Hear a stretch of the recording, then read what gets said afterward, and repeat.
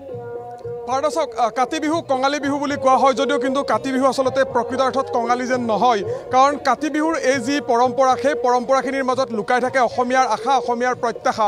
আৰু সেই আশা প্ৰত্যাশা অসমীয়াই বুকুত বান্ধি এইধৰণে কাতি বিহুৰ দিনাখন নিজৰ হেঁপাহৰ যি শস্যডৰা সেই শস্যডৰাত এইধৰণে চাকি বন্তি জ্বলাই প্ৰাৰ্থনা কৰে যাতে তেওঁলোকৰ যি এই হেঁপাহৰ শস্যডৰা সপোনৰ যাতে তেওঁলোকৰ ভঁৰালটো যাতে নদন বদন হয় চহকী হয় তাৰ বাবে এইধৰণে তেখেতসকলে চাকি বন্তি প্ৰান্তে প্ৰান্তে জ্বলায়। আৰু এই মুহূৰ্তত আমি নলবাৰীৰ যে খাটিকুচি অঞ্চল আছে সেই খাটিকুচি অঞ্চলৰ পৰা পোনপটীয়াকৈ এই দৃশ্যখিনি দেখুৱাইছোঁ। এইবাৰ নলবাৰীৰ এই খাটিকুচিত নলবাৰী জিলা বিজেপিৰ যি কৃষক মৰ্চা আছে সেই কৃষক মৰ্চাৰ উদ্যোগত আৰু ঘগ্ৰাপাৰ মণ্ডল বিজেপিৰ সহযোগত তেখেতসকলে এইবাৰ এটা পদক্ষেপ হাতত লৈছে আৰু সেই পদক্ষেপ হিচাপে তেওঁলোকে দুই হেজাৰ গছি এই ধৰণৰ বন্তি ইতিমধ্যে প্ৰজ্বলিত কৰিবলৈ আগবাঢ়িছে আৰু কিছু সময় পিছতে যিহেতু ইয়াৰ স্থানীয় বিধায়ক তথা কেবিনেট মন্ত্ৰী জয়ন্ত মল্ল বৰুৱা আহি উপস্থিত হ'ব আৰু তেখেতে এই যিটো অনুষ্ঠান এই অনুষ্ঠানৰ যি গছি আকাশ বন্তি সেই আকাশ বন্তি সাজু কৰি ৰখা হৈছে তেখেতে আকাশ বন্তি প্ৰজ্বলিত কৰিব আৰু এই স্থানতে তেখেতসকলে তুলসী পুতি তুলসীৰ তলে তলে মৃগপহু চৰে যি আচলতে পৰম্পৰা যি আচলতে ৰক্ষা কৰি আহিছে বা তুলসীৰ তলত যি আচলতে তুলসীৰ তলে তলে মৃগপহু চৰে শীৰ্ষক যি গীত গায় যি কাতি বিহু সেই কাতি বিহুৰ পৰম্পৰা ৰক্ষা কৰে এইধৰণে নলবাৰী জিলা বিজেপিৰ যি আচলতে কৃষক মৰ্চা আছে সেই কৃষক মৰ্চাৰ উদ্যোক্তাসকল আছে অকণমান আপোনাৰ ওচৰলৈ আহিছোঁ। অতি এটা সুন্দৰ পদক্ষেপ আজি কাতি বিহুৰ দিনটোত আপোনালোক সকলো ওলাই আহিছে আৰু ওলাই আহি এই ধৰণৰ পদক্ষেপ এটা হাতত লৈছে। গোটেই কাৰ্যসূচীখিনি অকণমান চমুকে কওকচোন। প্ৰথমতে মই সমূহ সমগ্ৰ অসমবাসীক আজি আমাৰ অসমবাসীৰ যি কাতি বিহু তাৰে শুভেচ্ছা জ্ঞা- জ্ঞাপন কৰিছোঁ। আৰু কৃষক মৰ্চা বুলিবলৈ কওঁতে চহা জীৱনৰ লগত জড়িত ৰাইজসকলৰ সহায় সহযোগ হোৱাকৈ যিটো দলীয়ভাৱে এটা পদক্ষেপ আছে সেইমতে আমি নলবাৰী জিলা এ, মানে কিষাণ মৰ্চাই আজি এই অঞ্চলত খাটিগুচি যি এ, মানে আমি আজি কাতি বিহুৰ এক বিশেষ মানে কাৰ্যসূচী আয়োজন কৰিছোঁ। আৰু এই কাৰ্যসূচীত আজি মুখ্য অতিথি হিচাপে উপস্থিত থাকিব আমাৰ সন্মানীয় মন্ত্ৰী তথা বিধায়ক আহ, জয়ন্ত মল্ল বৰুৱাদেৱ। আৰু আপোনালোকে দেখিবলৈ পাইছে এই অঞ্চলৰ ৰাইজ স্বতঃস্ফূৰ্তভাৱে আহি ইয়াত চাকি বন্তি জ্বলাইছে। আৰু মন্ত্ৰী মহোদয় অলপ পিছতে ইয়াত আহি পাব।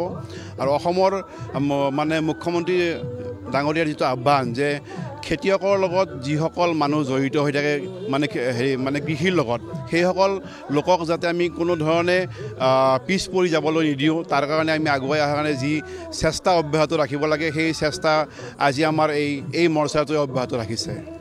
নিশ্চয়কৈ আপোনাক ধন্যবাদ জনাইছোঁ। মই আৰু কথা পাতিম যিহেতু উদ্যোক্তাসকল আছে। কিন্তু পৰিৱেশটো দেখুৱাই লৈছোঁ। এটা সুন্দৰ পৰিৱেশ খাটিকুচিৰ এই যি আচলতে গোপীনাথ গোপাল থান যি আছে তাৰ এই গোপাল থানৰ সমীপতে এই ধৰণৰ যি কৃষি পথাৰ সেই কৃষি পথাৰত আহ, কেইবা হাজাৰ আচলতে দুই হাজাৰকৈ তেখেতসকলে চাকি বন্তি জ্বলোৱাৰ কথা আছিল যদিও ইতিমধ্যে বহুখিনি স্থানত এই ধৰণে বন্তি প্ৰজ্বলন কৰা হৈছে। আৰু মই অকণমান দেখুৱাম উদ্যোক্তাসকল আছে তেখেতসকলৰ সৈতেও কথা পাতিম। এই ধৰণে ইয়াত তুলসীৰ যি গছ সেই তুলসীৰ গছ তেখেতসকলে ইতিমধ্যে ইয়াত তুলসী পুলি ইতিমধ্যে তেখেতসকলে পুতিছে।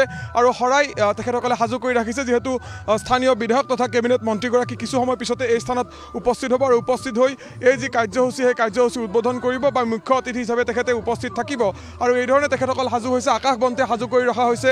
অতি এটা সুন্দৰ দৃশ্য আৰু এই যি শস্য শ্যামলা পথাৰ সেই পথাৰ যাতে তেখেতসকলৰ যিখিনি ধানে থোৰ মেলিছে সেই ধান যাতে ভালকৈ থাকে সেই ধানখিনি যাতে সুন্দৰভাৱে থাকে আৰু তেওঁলোকৰ ভঁৰাল যাতে চহকী কৰিব পাৰে তাৰ বাবে এই ধৰণে উদ্যোগ লৈছে। অকণমান আপোনাৰ লগতো কথা পাতিম।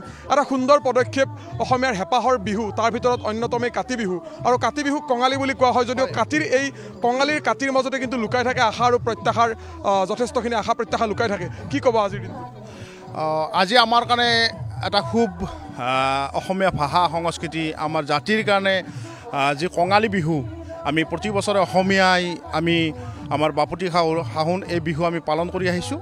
আৰু আজি ঠিক তেনেকৈ আমাৰ ভাৰতীয় জনতা পাৰ্টী নলবাৰী জিলা কিষাণ মৰ্চাৰ উদ্যোগত আমাৰ ভাৰতীয় জনতা পাৰ্টী ঘগ্ৰাপাৰ মণ্ডল সমিতিৰ সহযোগত আজি আমাৰ ঘগ্ৰাপাৰ মণ্ডলৰ অন্তৰ্গত এই ভদাৰ এই বিশাল সুবিশাল পথাৰৰ মাজত আমি আজি ইয়াত কাতি বিহু উদযাপন কৰিছোঁ। আৰু ইয়াত আৰু কিছু সময় পিছতে আমাৰ মাননীয় মন্ত্ৰী মহোদয় আহি ইয়াত উপস্থিত হ'ব। আৰু আজিৰ এই অনুষ্ঠানত আমাৰ বৃহত্তৰ এই অঞ্চলৰ কৃষকসকলৰ যি উৎসাহ উদ্দীপনা দেখি আমি নথৈ আনন্দিত হৈছোঁ। আমি ভাবোঁ যে এই বিহুৰ আজিৰ এই অনুষ্ঠানৰ জৰিয়তে গোটেই সমগ্ৰ অসমতে এটা মেছেজ যাব যে আমাৰ এই বাপতি সাহোন এই যি বিহু আমি এনেদৰে পালন কৰিছোঁ বা অনাগত দিনতো যাতে অসমীয়াই আমি এনেদৰে বিহু পালন কৰিব পাৰোঁ। আৰু আমাৰ যি অসমীয়া সংস্কৃতি ইয়াৰ যিটো আমাৰ চহকী সংস্কৃতি ইয়াৰ যাতে ভঁৰাল আমি আকৌ বেছি আগলৈকে লৈ যাব পাৰোঁ। আৰু আমাৰ এই আমাৰ স্বাভিমানী অসমীয়া জাতিৰ এই বিহু যাতে আমি বিশ্বৰ দৰবাৰত প্ৰতিষ্ঠা কৰিব পাৰোঁ সেইটো আশা ৰাখিছোঁ। সেয়া আছিল নলবাৰীৰ এক পৰিৱেশ আমাক দেখুৱালে। নলবাৰীৰ সাংবাদিক ভাস্কৰ জ্যোতি ডেকাই। ভাস্কৰ ধন্যবাদ জ্ঞাপন কৰিছোঁ সেই পৰিৱেশ দেখুওৱাৰ বাবে।